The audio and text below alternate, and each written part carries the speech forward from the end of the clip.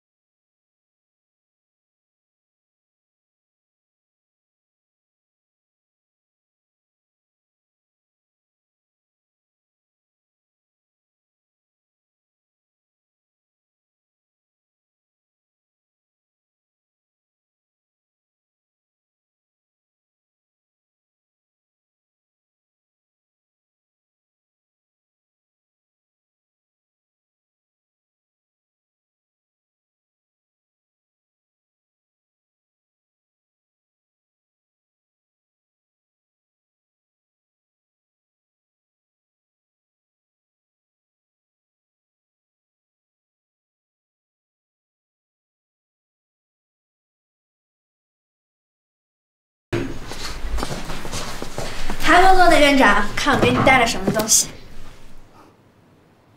这什么呀？这个吧，是给你消遣用的玩具。你看，找小七是一个长期而又艰巨的任务，你不能够因为没有小七的消息，你就这么一直用工作麻痹自己吧。你的世界里，不能除了小七就是工作，除了工作就是小七，总应该解解压，放松放松吧。不用了，你的奇思妙想已经成功帮我减压了。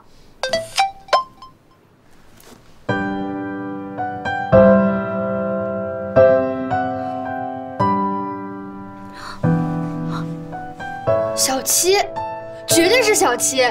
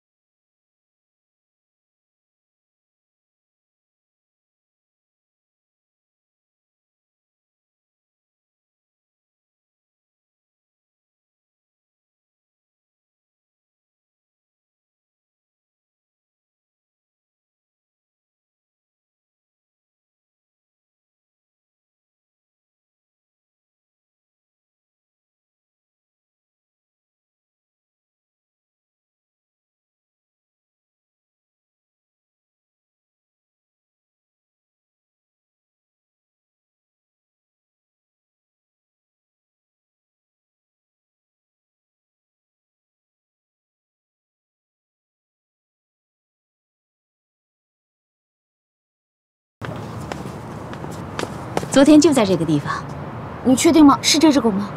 确定，没错。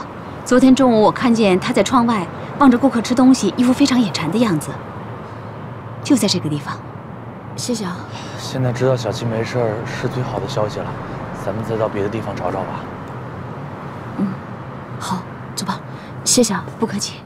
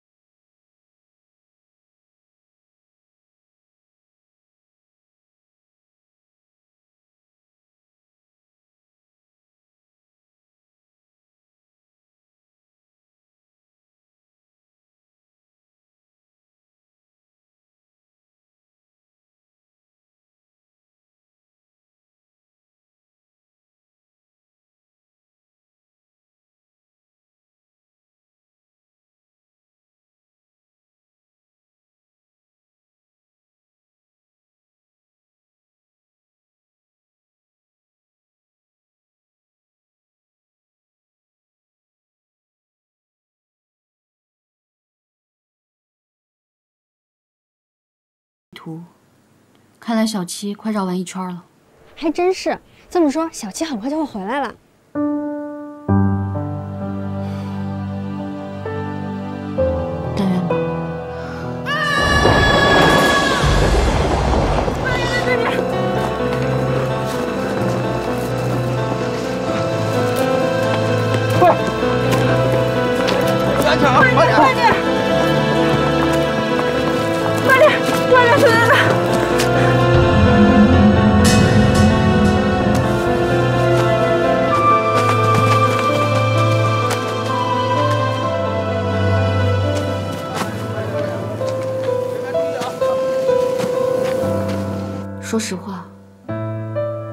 我也不知道小七回不回得来。有时候觉得，希望越大，失望也就越来越大。可是希望总比失望有希望吧？我这嘴绕的，院长，你应该明白我的意思。你说这人活着，要是连希望都没有，那还有什么呀？再说了，你是好人，老天爷一定会保佑你，也会保佑小七的。可是亮亮呢？老天爷为什么不保佑亮亮？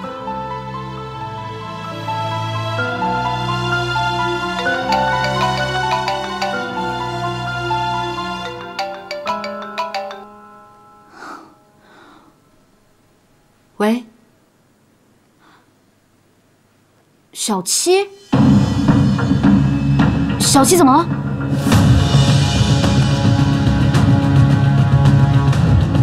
司机什么时候到啊？快了，马上就到。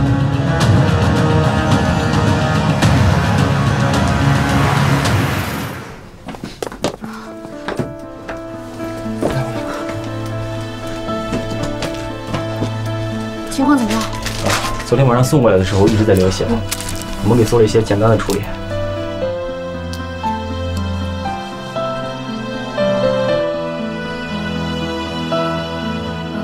小七怎么受伤的？他是因为救我，我们一起出来野营，没想到碰到了大雨，和大部队走散了，我们迷了路，手机没有信号，结果碰到了小七，他领着我们往山外走，走了一天一夜，我们都已经看到山下的村庄了，可能是因为太疲惫了吧，再加上山路太滑，他一脚踩上去，差点踩空了，小七冲上前去，让他踩在了自己的身上。下去，可是小七，小七他自己摔下去了。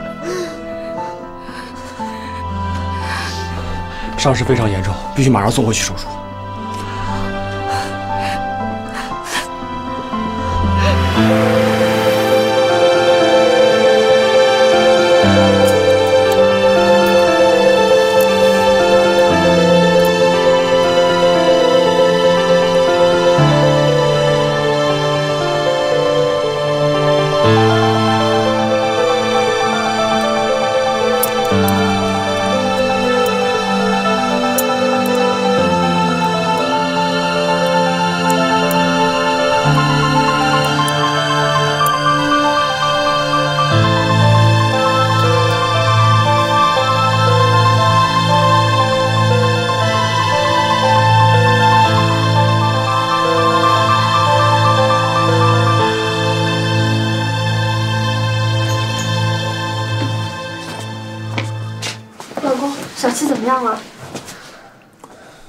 小七伤得太重了，头部重度挫伤，颅内出血，而且又在山里医疗站耽误了一夜，错过了最佳抢救时机，能活到现在，已经是个奇迹了。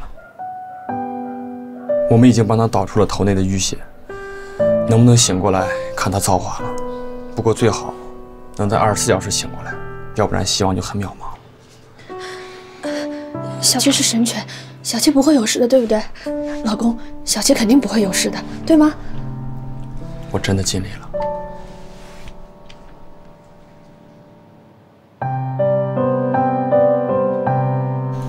你说小七以后不会成为植物狗吧？那以后再也没有谁可以预测癌症了。小七，我知道你能听见我说话。对了，我放点音乐给你听吧。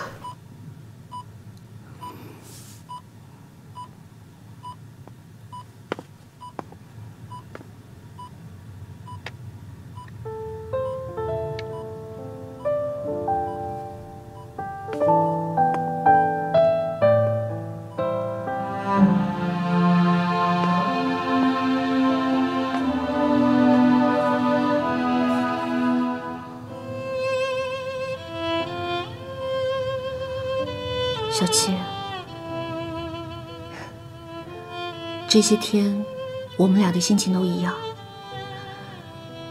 因为我们一样都深爱着亮亮，做梦都希望着亮亮能回来，平平安安的回来。其实我很羡慕，我也想和你一样，去每个地方寻找亮。去感受他的声音，感受他的气息。匆匆流去，我只在乎你，心甘情愿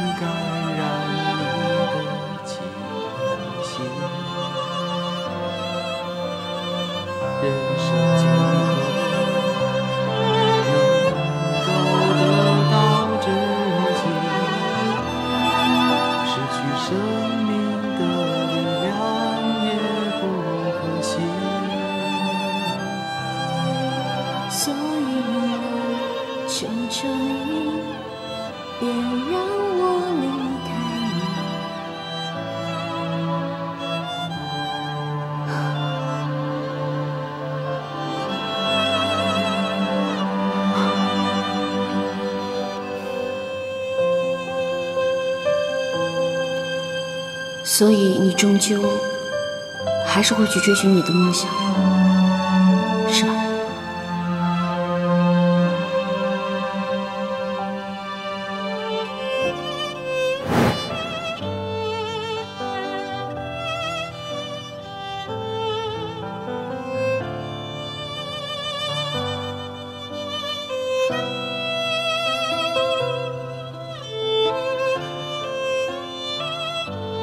小七，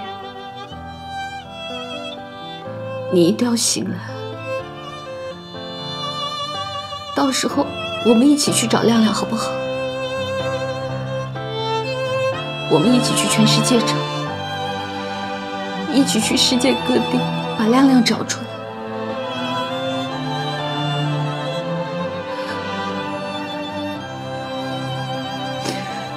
我已经失去亮亮，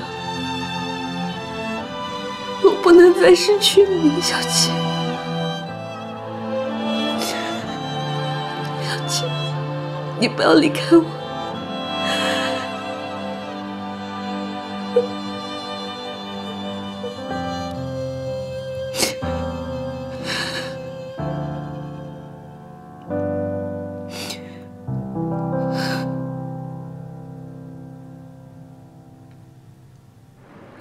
一旦姐，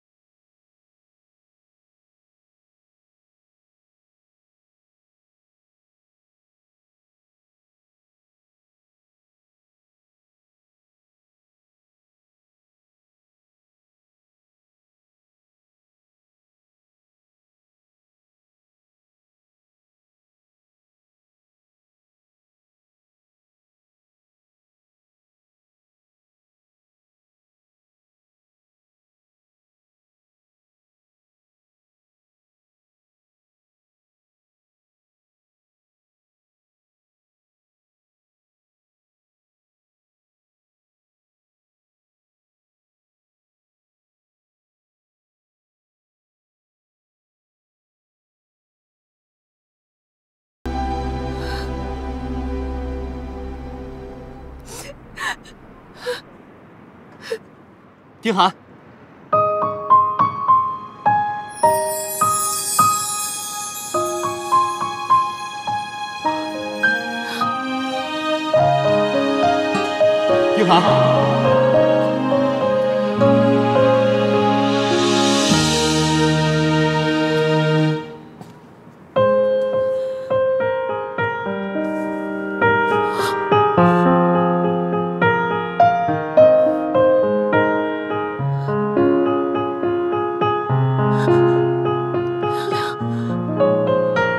是你吗？你回来了。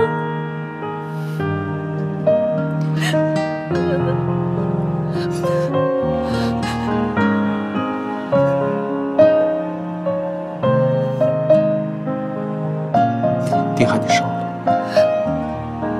你怎么现在才回来？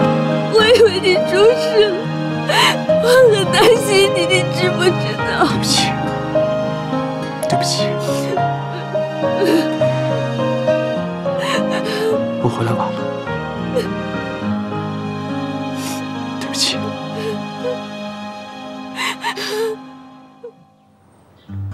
事情发生的时候，我当时坐在大巴上，大巴开到一个山脉的时候，突然之间就天旋地转了。一开始我以为是地震，后来才知道是山体滑坡，整个车厢凌空飞了起来。我眼前一黑，什么都不知道。然后呢？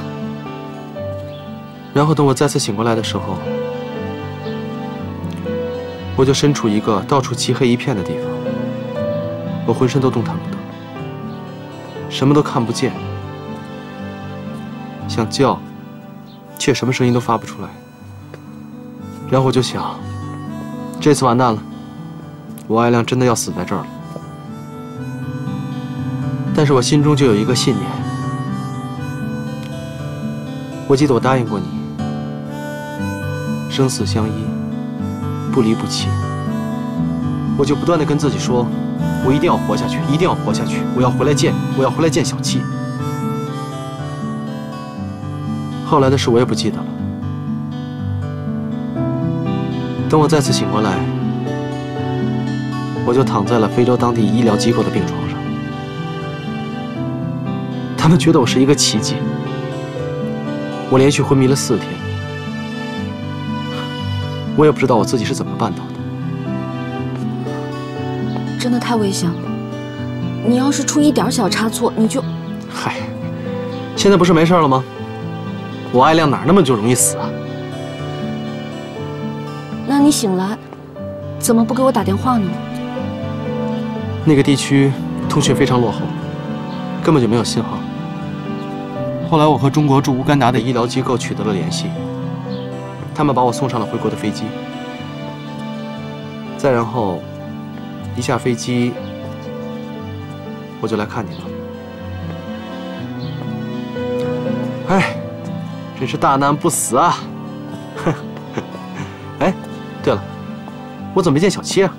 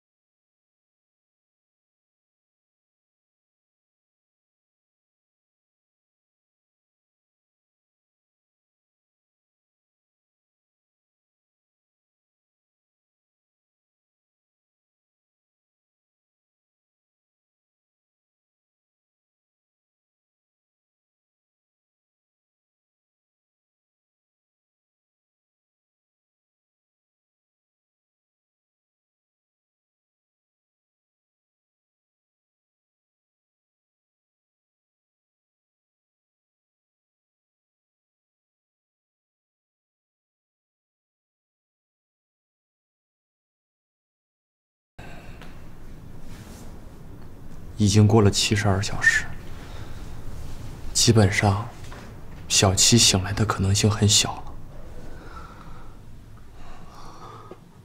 所以，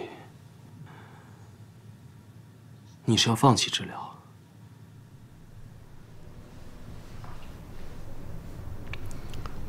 唉，艾亮，你死里逃生，刚回来两天，本来我不想跟你说这些，但是出于人道主义考虑，我必须要告诉你，我强烈的建议。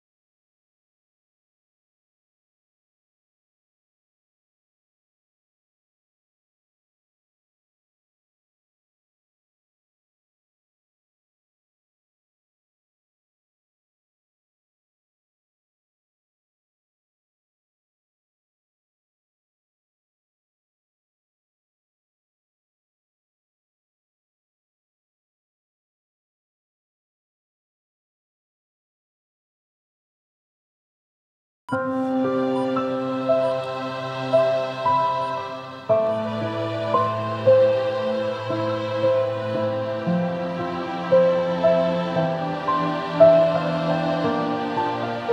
不起，小七，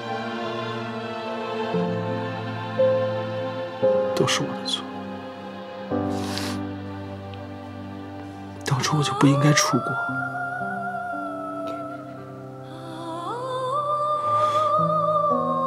我是想我，我去会儿我就回来。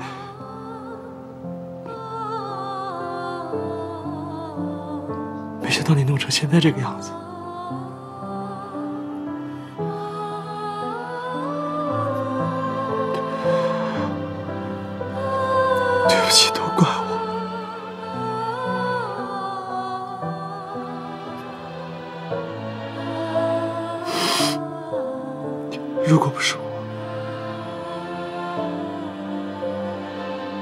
现在肯定还活蹦乱跳的。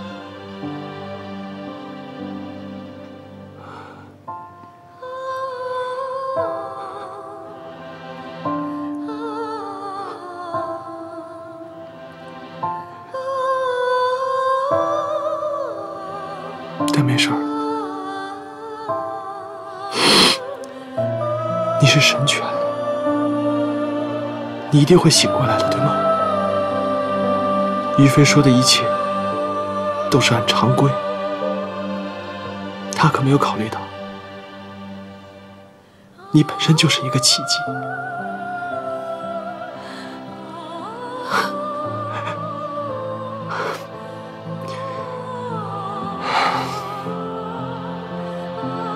现在就剩我们俩了，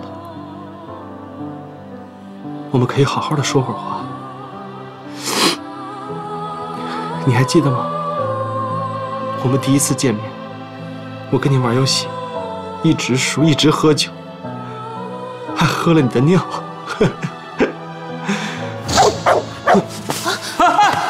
亮亮，亮亮，没事吧？呃，没事。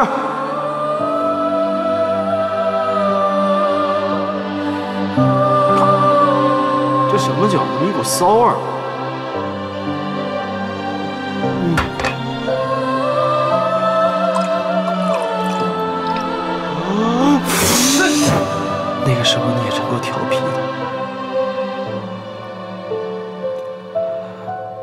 不久之后，